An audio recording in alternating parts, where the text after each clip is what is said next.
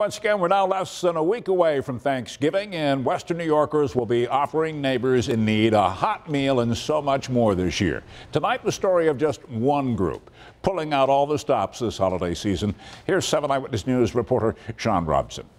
I'm getting older every year, but you know what? Giving never gets old. Even after 35 years, Sister Johnice is the coordinator behind Thanksgiving at the Response to Love Center on Buffalo's East Side. We'll have desserts over here homemade pies that are already baked, and cheesecake. Those are coming from a company, and we're all excited because people love cheesecake, and they're even giving us the topping on that too. For Sister Johnice, Thanksgiving caps off a week of preparation.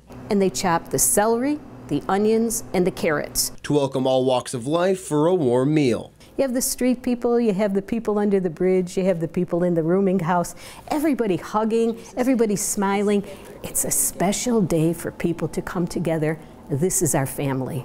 Sister Johnice is expecting up to 250 people to come through those doors on Thanksgiving Day to eat 35 prepared turkeys. Yes, she told me that's enough for seconds. They say, Sister, this was great. I'm really full. Her spirit is contagious.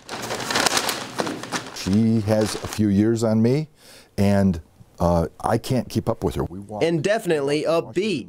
I had to buy gels for my shoes because I got blisters on my feet. I said, sister, slow down. Michael Gilhooly says God put the sisters in his life for a reason. Even if you only help one, that's hope for that person that, that they wouldn't have had if we weren't here.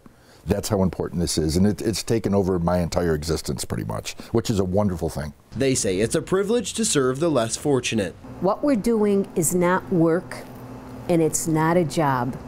It's a mission. A mission that will serve Thanksgiving dinner next Thursday from 10 to 2. And if you're not a fan of gravy, well, Sister Johnice has you covered. Barbecued sauce all the time because people like barbecued sauce on everything.